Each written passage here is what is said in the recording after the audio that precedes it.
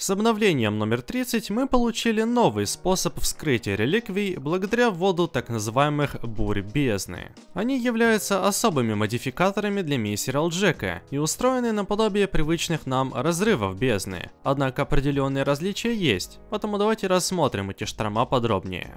Получите доступ к бурям бездны можно в том случае, если вы имеете доступ к той миссии Ралджека, где возникла буря. Как и разрывы, бури сменяются время от времени. Отслеживать их можно в окне мирового статуса. Плюс на карте миссии Ралджека они подсвечены особым образом. Реликвии Эры Элит можно открывать в бурях Проксим Земли и Венеры. Мезы открываются только на Сатурне, как и Нео лишь на Нептуне. Плутон и Вуаль позволяют вскрыть Акси реликвии. Прибыв на миссию с активной бурей бездны, вы сразу заметите необычный задний фон, соответствующий шторму. Окружение здесь является опасным. Например, в космосе появляются столбы энергии бездны, которые наносят урон ближайшим кораблям. Также в наземном режиме вы столкнетесь с некими разломами или колодцами бездны. По краям экрана будет отображаться эффект бездны, когда вы окажетесь рядом с такой штукой. Эти колодцы выступают в качестве мин. Чтобы их обезвредить, нужно стрелять по ним. Если же подберетесь слишком близко, то колодец взорвется.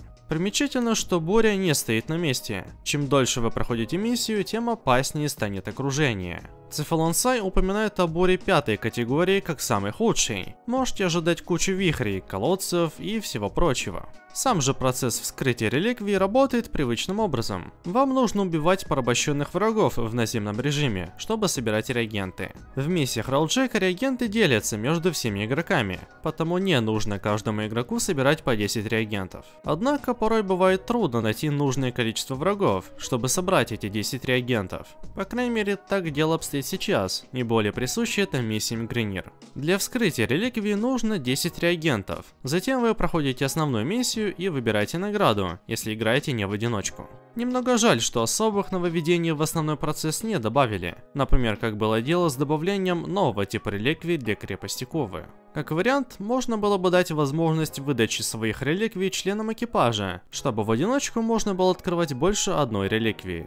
Имеются также особые награды, которые выдают за прохождение бури бездны в дополнение к обычным наградам. Например, таким образом можно фармить части Севегота на проксимах Нептуна, Плутона и Вуали. Что касается частей и чертежа фирменного оружия Севегота под именем Эпитаф, то они выпадают в проксимах Земли, Венеры и Сатурна. Стоит отметить, что шанс выпадения эпитафа выше на Сатурне на несколько процентов.